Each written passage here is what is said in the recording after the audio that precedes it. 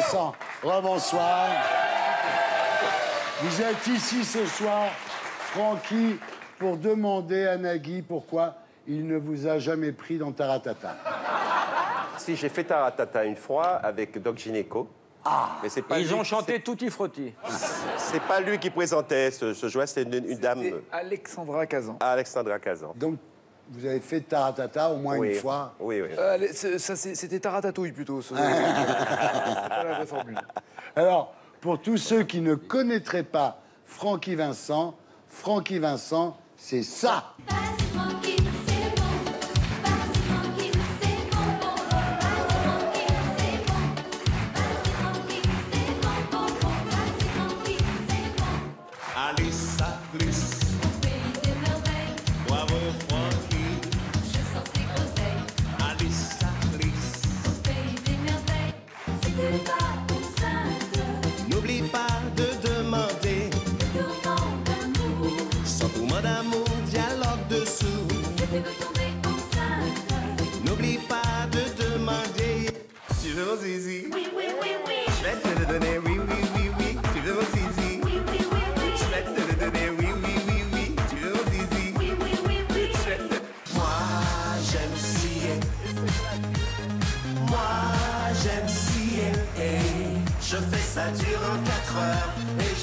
Mon cœur. Ça me scie de savoir. Y'a qu'à danser. Qu'à danser, begin et souquer. Qu'à et puis tout mélanger. Raser pour tout coller. Y'a qu'à rouler. Swinger ce coin. Francky Vincent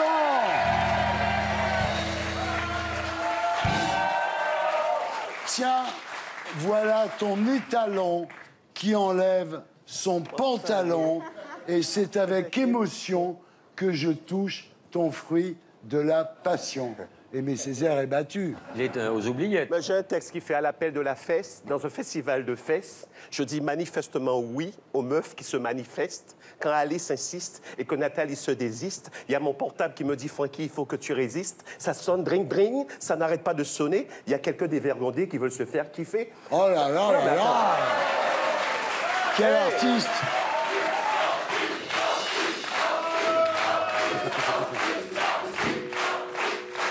Je vous demande de vous arrêter. Alors, il y a un truc qui est vrai, c'est que les femmes peuvent tomber enceintes rien qu'en écoutant vos chansons, Francky. Oui, mais je, je- je fais de l'humour avec ça des fois. Ouais. Je demande à une fille de venir, de venir en toute décontraction. Et si possible, pas une femme enceinte parce qu'elle aura des contractions. Eh je joue beaucoup sûr. avec les mots.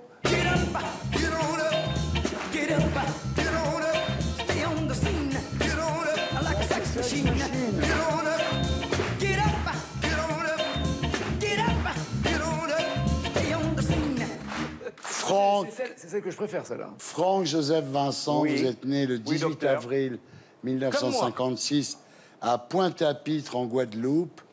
Votre père, Anatole Philogène, était mécanicien chez Shell et votre mère, Jeanne Lucienne, brodeuse à domicile.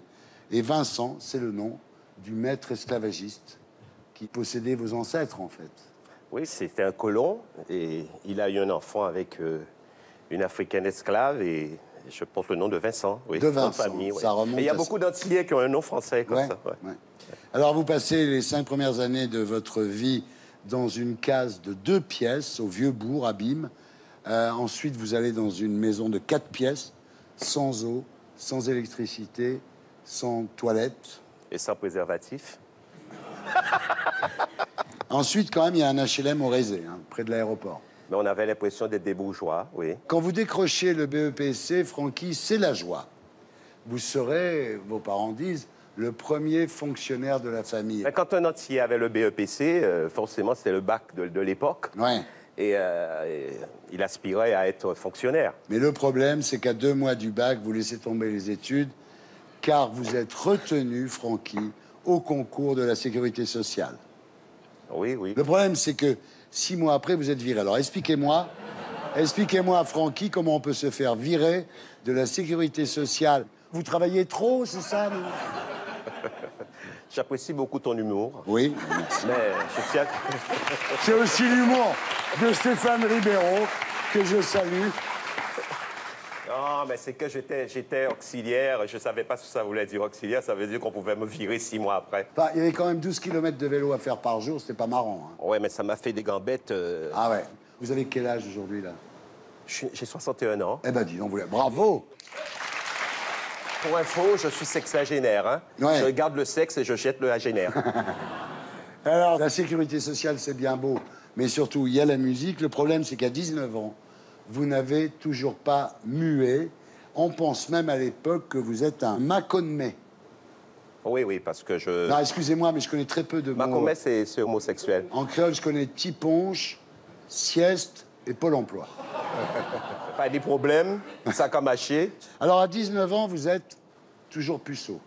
Oui. Alors que tous vos copains ont été dépucés à l'âge de 17 ans. Il- Il me fallait l'aval de ma mère pour Ah. justement. euh, juste- Ah non, non, non, non. Ma mère enseignant le catéchisme Ouais. au sein d'une chorale d'église. Oh oui.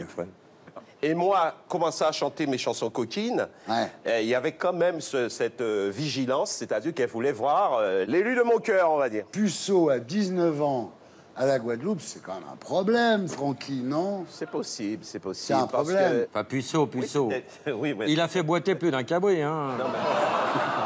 Alors là, maintenant, je veux entendre la première fois de Francky Vincent. Qu'est-ce qui s'est passé Quand vous en parlez, vous dites que c'était un feu d'artifice. C'était une grande fête pour moi et, Ouais. et c'est vrai que euh, j'ai- vraiment dû apprivoiser cette brûlure que j'ai eue au niveau de, de la personne en Et question. que tu lui as transmise. D'où l'importance des antibiotiques, il faut le rappeler aux jeunes. Alors, quelques années plus tard, on vous appelle Francky Cochon, Francky Porno, Francky Malélivé. Mal élevé là encore. il y a- ouais. Malélivé. Ouais. Francky Kiki. Francky Kiki. Ok, Kiki, oui. Et un jour, C'est le drame. non, c'est le miracle.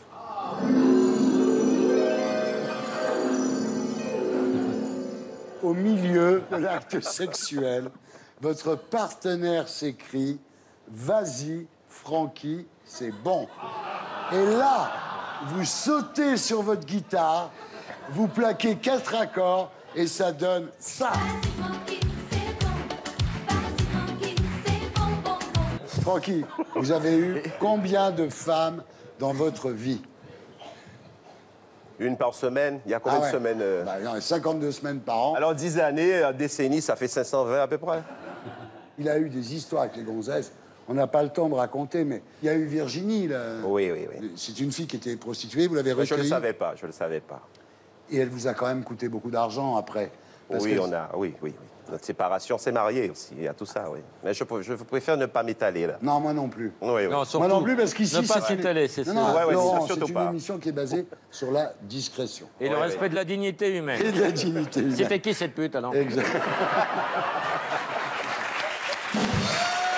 Quel séducteur Séducteur à distance. Il y a un mec qui a tué sa femme parce qu'il avait trouvé une photo de vous dans son sac à main et il croyait que vous étiez son amant. Et ce monsieur ne m'a pas reconnu. Quand il a regardé la, la photo, il m'a pas reconnu. C'est horrible. Et là.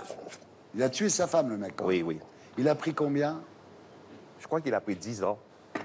Tout ça aurait pu finir très tragiquement, Francky. Vous étiez à Nice sur la promenade des Anglais pour admirer le feu d'artifice le 14 juillet 2016. Oui. Vous avez été épargné. Je me suis planqué dans un parking, souterrain de parking. J'étais à 400 mètres en amont.